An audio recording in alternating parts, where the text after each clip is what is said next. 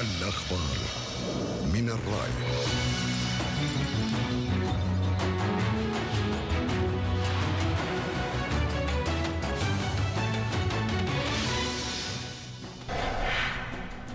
أمير البلاد يهنئ المواطنين والمقيمين بالأعياد الوطنية ويدعو في نطقه السامي إلى استشعار نعم الله التي من بها على الكويت وعلى رأسها نعمة الأمن والأمان.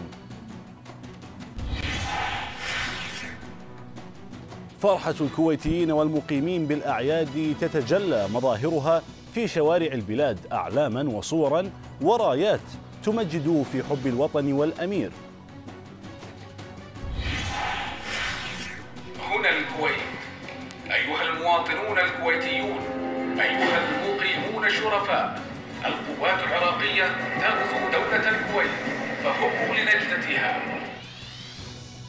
شاهد على العصر والتاريخ. متحف كي لا ننسى يوثق بالصوت والصورة.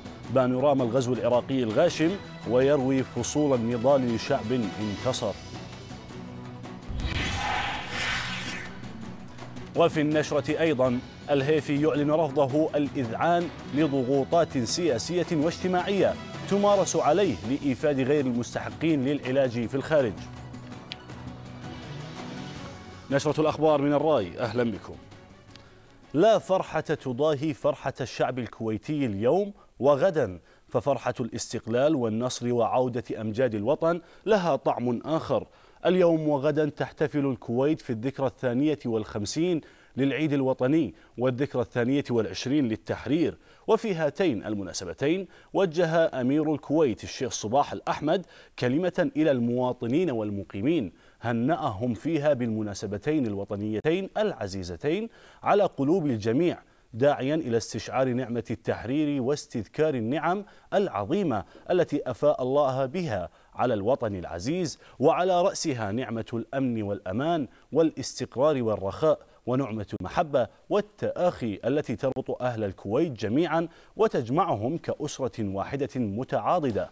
وقال الشيخ صباح الأحمد إن هذه النعم هي نعم جليلة تستوجب الشكر وتدعو إلى تكاتف الجهود وإشاعة المودة والحفاظ على الروح الوطنية وإلى العمل المخلص والبناء لخدمة الوطن الغالي والحفاظ على أمنه ورفع ورفع ورفع رايته وإلى توجيه كافة الطاقات للرقي به وتطويره وازدهاره. وقد شكر الشيخ صباح الأحمد ما أبداه المواطنون والمقيمون من تفاعل ومشاركة فعالة وما أظهروه من مشاعر البهجة والسعادة بأسلوب حضاري مميز مشيدا بالجهود المبذولة من كافة أجهزة الدولة من استعدادات وتنظيم عال لهاتين المناسبتين.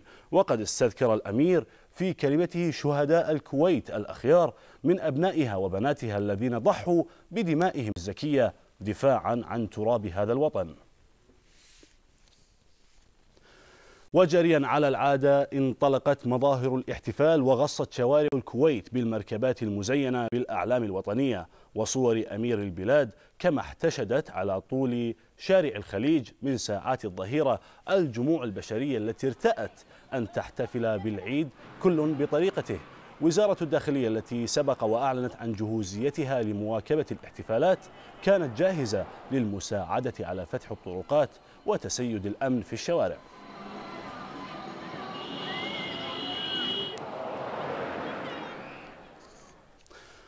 احتفالا بالأعياد الوطنية والتحرير أيضا كان لقطاع الاتصالات الدور المهم في إنارة سماء الكويت حيث قامت شركة الوطنية للاتصالات بإضاءة متعددة الألوان بالقرب من برج التحرير ثلاثية الأبعاد.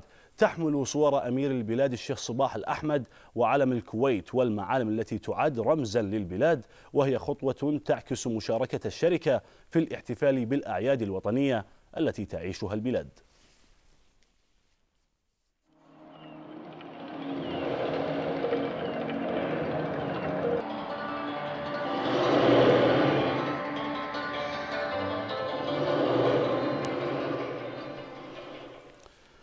ولمناسبة الاحتفالات بالأعياد الوطنية وجريا على عادتها زار وفد من وزارة الشؤون الاجتماعية والعمل دور الرعاية الاجتماعية وتحديدا دار رعاية المسنين للاستمتاع معهم بفرحة الأعياد. وكيل وزارة الشؤون عبد المحسن المطيري أكد أن الوزارة تولي اهتماما بالغا برعاية كبار السن وأنها جادة بالعمل على توفير سبل الراحة والعناية لهم.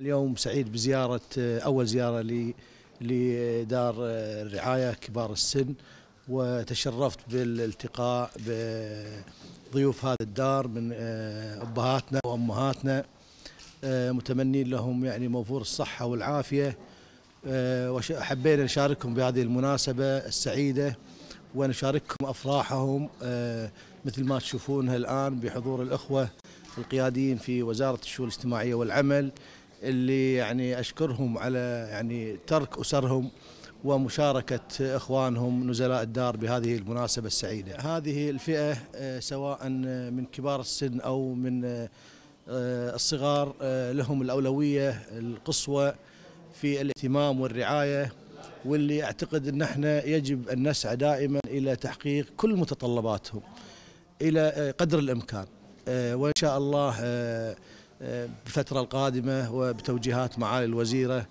السيدة ذكر الرشيدي سنطلع على الأفكار الجديدة خصوصا من الأخوة العاملين في دور الرعاية.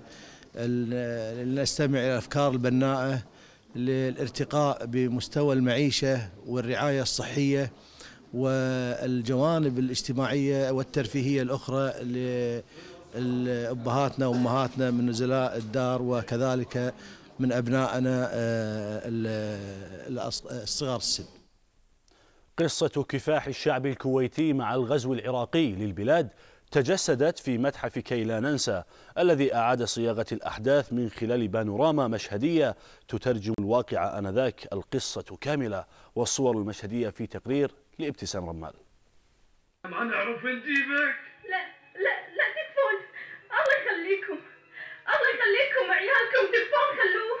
خلوه هذا حشاشة يوفي هو مشهد يحكي قصة التعذيب التي طالت أبناء الوطن أيام الغزو وهو مشهد يدمي العين لأنه سيبقى مخلدا في الذاكرة عبر محاكاة الواقع آنذاك في بيت الكويت للأعمال الوطنية. هنا الكويت أيها المواطنون الكويتيون أيها المقيمون الشرفاء القوات العراقية تغزو دولة الكويت فهبوا لنجدتها.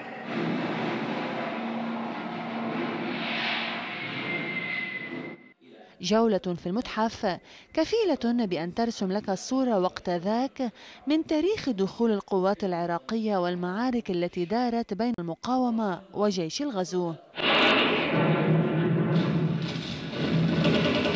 سيناريو الغزو في المتحف يحكي بالصوت والصورة. ما تعرضت له الكويت من سرقة ودمار ومعاناة من خلال مؤثرات صوتية وضوئية.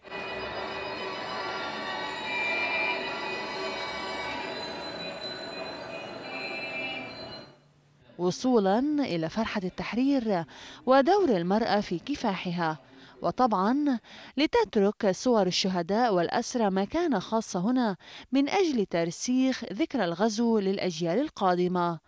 وعلى الرغم من كونه المتحف الوحيد الذي يجسد لمرحلة تاريخية إلا أنه يواجه خطر الإهمال. حاولنا من خلال هذا البيت آه الذي أسسته أنا في سنة 97 أن نرد على ادعاءات النظام العراقي وفي نفس الوقت ندون مرحلة مهمة في تاريخ الكويت. دولة مقصرة بتقصير كبير جدا في رعاية هذا المكان. وإحنا اليوم بنحتفل في مرور 18 عام على وجود هذا البيت. 18 عام استقبل أكثر من آلاف واستقبل أكثر من 1800 وفد إعلامي وأكثر من 2000 وفد عسكري. ومع هذا ما زالت الدولة تهدده بالإزالة ومع هذا البيت لم يحصل على ميزانية. هذا يعني إحنا أعطونا أرض لكن الأرض من يبنيها يعني. متحف كي لا ننسى. لم ينسى أيضا الأسماء والصور المرسومة يدويا لحكام آل صباح وخريطة الكويت وصالة الهوية الكويتية التي تحكي بالصوت نشأة الكويت منذ القدم. والمتحف الذي يعد نموذجا لنقل الواقع الحقيقي لما مرت به الكويت فرصة لهؤلاء للتعرف إلى ماضيهم وعدم نسيان بطولات آبائهم. يعلم اليهال يعلم العيال اللي توهم طالعين ما يدرون شنو الموضوع الغزو. شفت أشياء يعني قاعدين نسمع عنها عن عن آبائنا وعن أمهاتنا شنو عاشوا بالغزو. والمتحف الذي يعرض جرائم النظام العراقي السابق والوثائق التي تخلد لتلك الجرائم يشمل أيضا على مشاهد سقوط النظام وتمثال صدام الذي تم إسقاطه وما تبعه من مقابر جماعية ونهاية نجله عداي وعباءته هذه. هناك في صور تمثل الحياة اللي كان يعيشها أبناء رئيس النظام العراقي والنهاية المحتومة وأيضا في بعض المقتنيات اللي تم جلبها من العراق مثل آه، طبعا أحد أحد يعني قطعة من ملابس عدي صدام حسين موجودة في أحد القصورة وأيضا سيجار طوله 40 سنتيمتر. بالإضافة إلى ملابس أول اسير شهيد تم التعرف على رفاثه ما بعد سقوط النظام. المتحف الذي يجسد تاريخ الجريمة الإنسانية التي ارتكبها النظام آنذاك يبقى شاهدا تاريخيا على المواقف البطولية التي قام بها أبناء الوطن. قصة كفاح لشعب ناضل من أجل الحرية تجسدت في متحف كي لا ننسى حتى لا ننسى دماء الشهداء التي سالت في سبيل كرامة وطن. ابتسام رمال الرأي. وفي الشأن الصحي أكد وزير الصحة محمد براك الهيفي إن قرار زيادة مخصصات العلاج في الخارج للمرضى ومرافقيهم بنسبة 100% مستحق بسبب الارتفاع الكبير في الأسعار وغلاء المعيشة. لا سيما في الدول الأوروبية موضحا أن المبلغ سيكون 200 دينار يوميا للمريض و100 دينار لمرافقه. وقال على هامش لقائه الاتحاد الوطني لطلبة الكويت فرع المملكة المتحدة أنه يتعرض لضغوط اجتماعية وسياسية لإرسال من لا ينطبق عليهم الشروط للعلاج بالخارج ولكنه لم ولن يخضع لها معلنا أن مستوى خدمات المستشفيات الحكومية في الكويت تفوق ما يقدم في المستشفيات البريطانية. نشرة الرأي متواصلة وفيها بعد الفاصل. بعد انقطاع دام لأكثر من 23 عاما العراق يسير أولى رحلاته إلى الكويت الأربعاء المقبل.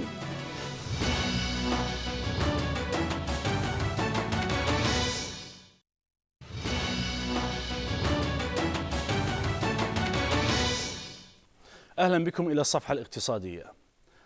أعلنت وزارة النقل العراقية أنها ستسير يوم الأربعاء المقبل أول رحلة جوية إلى دولة الكويت عبر الخطوط الجوية العراقية بعد توقف دام 23 عاما وقال وزير النقل العراقي هادي العامري أنه سيتم بتاريخ السابع والعشرين من الشهر الجاري افتتاح الخط الجوي بين العراق والكويت وستنظم الرحلة من قبل الخطوط الجوية العراقية وللمرة الأولى منذ أكثر من 23 عاما. وأوضح هادي وأوضح هادي عفوا أن الرحلة جاءت نتيجة جهود حثيثة من قبل السلطات المعنية في البلدين لحل المشاكل الموروثة وحسم الدعوى القانونية بينهما. أكد الأمين العام للأمانة العامة للأوقاف عبد المحسن الخرافي على الدور البارز الذي تلعبه الكويت في تقديم صورة الإسلام الصحيحة والسامحة وفي الدفاع عن القضايا الإسلامية. وقال الخرافي خلال تمثيله الكويت في الاجتماع المفتوح لأعضاء منظمة التعاون الإسلامي أن دولة الكويت من منطلق إدراكها لمسؤولياتها القومية الإسلامية تولي عناية خاصة للجهود الدعوية والإغاثية للمنظمات والمؤسسات الإسلامية وتقدم دعما غير محدود بشتى الوسائل والطرق الممكنة للجهود المشتركة المستقبلية الداعية إلى تعزيز لغة الحوار والتعاون بعيدا عن التشرذم والتفكك والصراع بهدف فهم بعضنا البعض دون المساس بالمقدسات الإسلامية والرموز الدينية والثوابت. نشرتنا متواصلة وفيها بعد الفاصل. النادي الكويتي للمعاقين يواصل تحقيق الإنجازات الرياضية.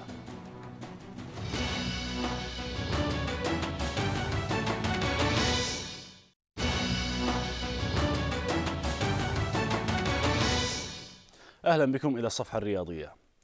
عقد رئيس اللجنة العليا المنظمة لبطولة أمير البلاد السنوية الكبرى الثانية للرماية دعيج العتيبي اجتماعات مكثفة مع اللجان العاملة في البطولة التي تنطلق منافساتها في الأول من مارس المقبل وتستمر حتى التاسع منه.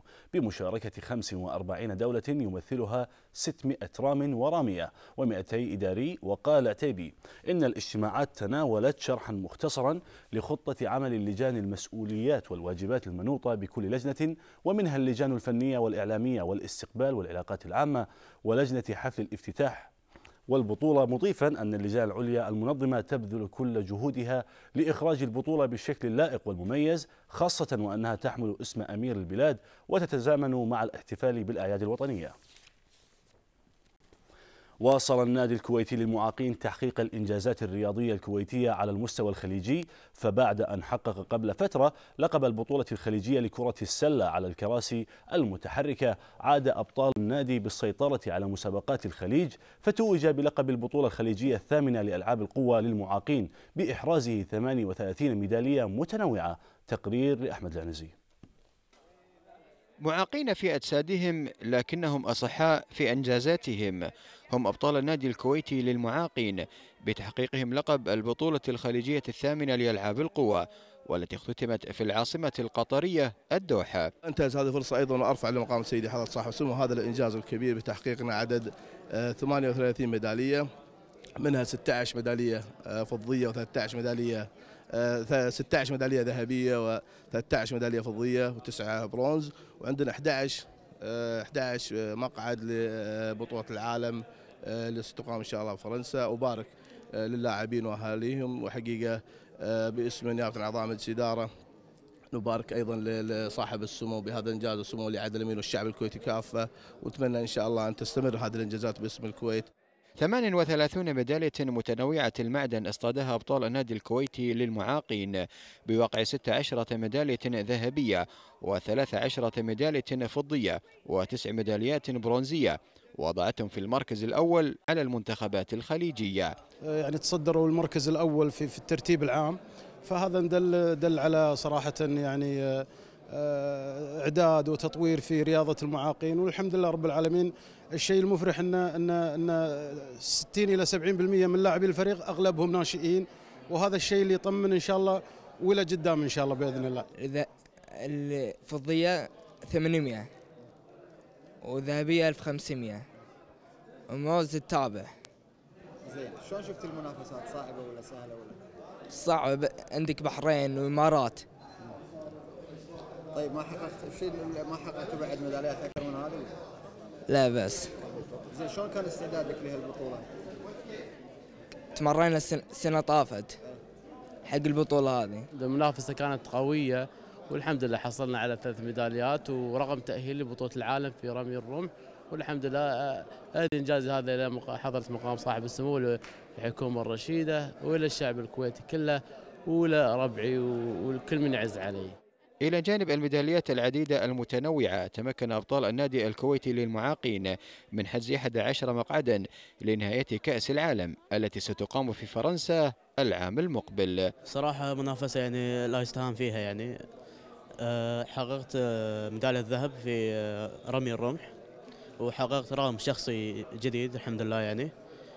وفي لعبة الجلة حققت الفضة لكن الرغم الشخصي كان شوي صعب ما حققته. حصلت على ذهبية فوجان ورغم تأهيلي لبطولة العالم وحصلت على فضة في الجلة. وكان في منافسة جدا قوية بسبب الدمج. كانت كل الفئات دمج أكثر من فئة في البطولة يعني أكثر من من ثلاث فئات دمج. النادي الكويتي للمعاقين ورغم المعاناة التي تواجهه في غالبية البطولات إلا أنهم أثبتوا علو كعبهم في المحافل الخارجية واضعين نصب عينهم رفع علم الكويت في البطولات الخارجية. أبطال النادي الكويتي للمعاقين يواصلون الإنجازات وحصد البطولات ويكتسحون المراكز الأولى في البطولة الخليجية لألعاب القوى. أحمد العنزي الرأي وقبل ختام النشرة لهذا اليوم نذكركم بمتابعتنا عبر موقع تويتر at الراي ميديا جروب. أيضا تستطيعون مشاهدة جميع نشرات وبرامج تلفزيون الراي عبر قناتين على اليوتيوب الراي تيوب كل عام والكويت بخير وإلى اللقاء.